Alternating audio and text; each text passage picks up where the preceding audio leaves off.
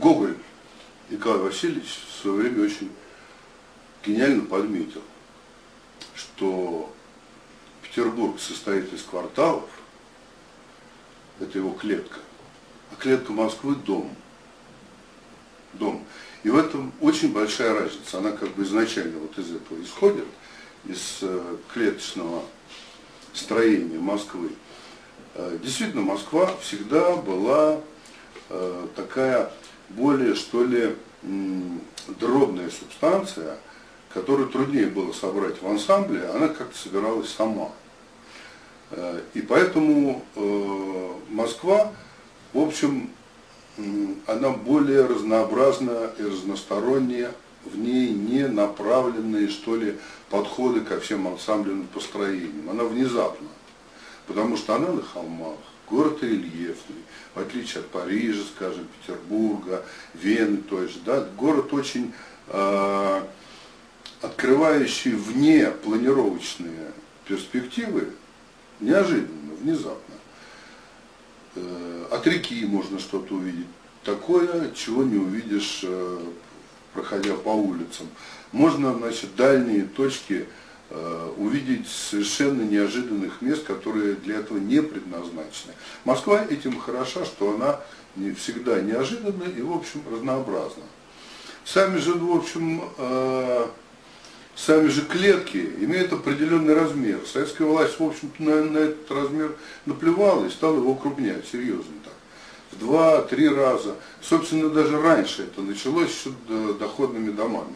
Укреплялись тоже клетки. Капитализм, когда попер тогда, еще там в начале 20 века, в конце 19 он тоже занимался укрупнением, как бы, малый предел московской клетки, и нужно делать что-то более крупное.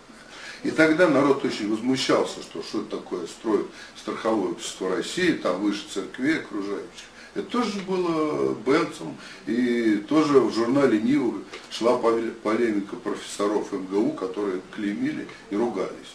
То же самое, в общем-то, и сейчас. Ничего особенно такого нового не происходит качественно, просто объемы больше.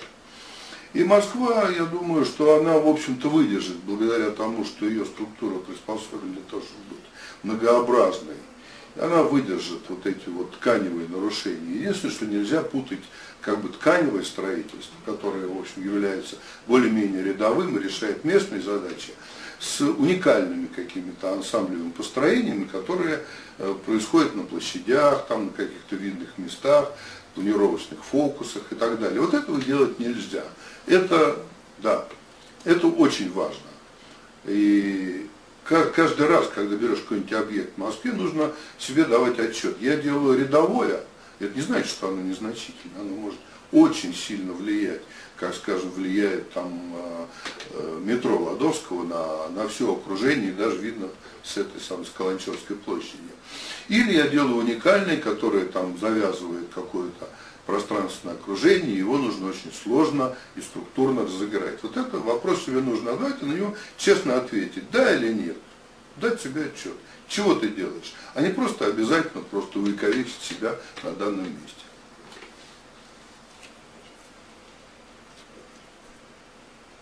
Хм. Что говорить?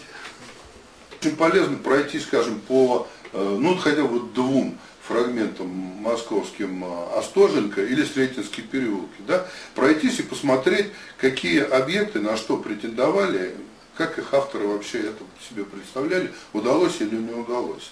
Потому что там очень хорошо читается, когда люди значит, делали средовой объект, который растворяется в общем и уместен, либо когда люди пытались сделать что-то значительное там, где оснований для этой значительности нет. Походите, погуляйте, посмотрите, и вы поймете, что, в общем, главное это ваше как бы личное отношение, прошедшее через какое-то сито. Сито таких вопросов к самому себе и, в общем, решение всегда за вами.